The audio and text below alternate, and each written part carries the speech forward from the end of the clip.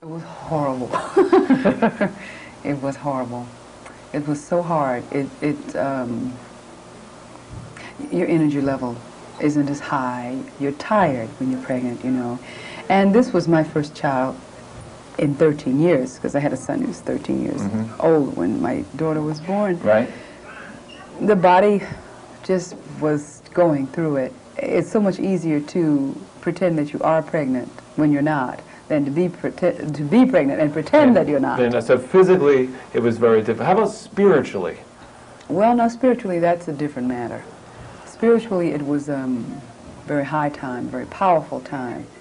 Uh, it was a very still time, a very centered and focused time. Yeah. There's something about creation going on within one's body that you have nothing to do with.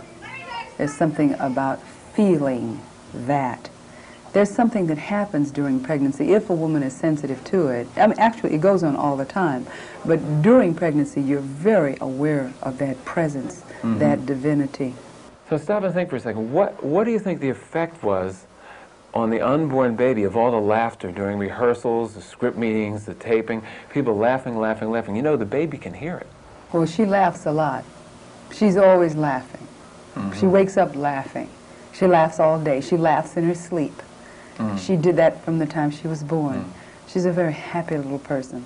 And the third part of my question is, visually, what was it like to do a television series while you're pregnant, not wanting the people at home to know you're pregnant? Well, first of all, I mean, women who are mothers could look at me and tell because my face Little look like the- looked like the Pillsbury Doughboy. And, um, it was it was difficult, but the, the writers and the wardrobe supervisor are very innovative people.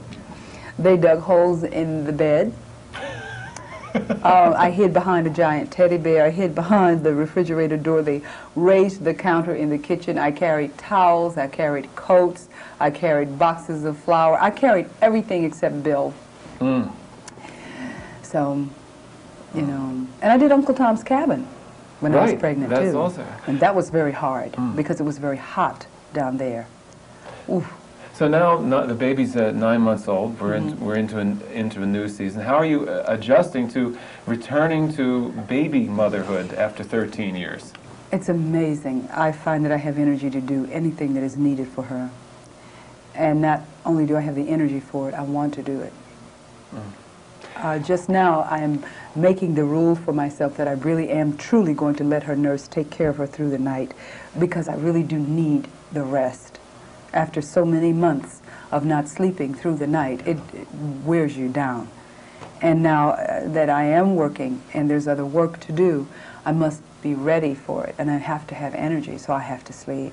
And any, any problem in your mind about being a super mother, trying to do the job perfectly, take care of the husband perfectly, take care of the baby perfectly, take care of the house perfectly? Some women try to confront it all and, and, and just realize they can't do it and feel guilty because of that.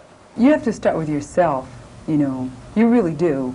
Y- you- there's something about there's something about being a mother and having a career and and uh, the way we're reared, the way women are reared. You see, men are fathers and they have their careers. Uh, men are fathers and they travel and do whatever they need to do. Men are fathers and they take jobs that take them away from their homes and their families. But for a woman to do this, it's like, oh, oh my God. You have to start with yourself and accept the circumstances of your life and accept them as your own. Accept them as your own creation. Accept them as your own karma. Accept them as your own truth, as your own work that you are given to do in this lifetime, and deal with it from there. And start with yourself. Start by taking time with yourself to just sit quietly in a day to just be still and not let all the concepts and all the ideas and all the mental constructs wear you down. When your daughter is 14 years old, we're going to be looking into a new century. Ooh. I know, it's kind of scary, isn't it? I'm wondering whether or not, be, because obviously times have changed and changing mm. very, very quickly. I, I'm interested in your telling us how you may raise your daughter differently than your mother raised you, simply because times are so different. I will not raise my daughter differently than my mother raised me. The rearing I got from my mother words cannot express. I could live in any time, I could live in any country, I could live on any planet, and I would be fine. What was the key? What did your mother know? What truth was coming through your mother Mm. that's going to come through you to your daughter? My mother gave us aphorisms to learn as children. And the one that I, there are two that stand out foremost in my mind. One is the inner reality creates the outer form. I learned this when I was in grade school, was very young. And the other is the universe bears no ill to me, I bear no ill to it.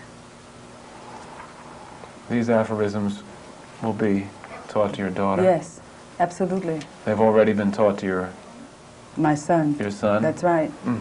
What I think I'm really getting at there is the opportunities facing your daughter, your daughter will be greater when she's, say, out of college than they were for you, and much greater than they were for your mother. And we don't even have to begin to consider the differences with, uh, you know, her grandmother. Again, I understand what you're saying. I would teach my daughter to look within herself first, before career projections, before accepting ideologies and theories and philosophies of near and distant traditions. I would tell her to look within herself to discover her own truth and to live in the experience of constant awareness of that truth within. Mm.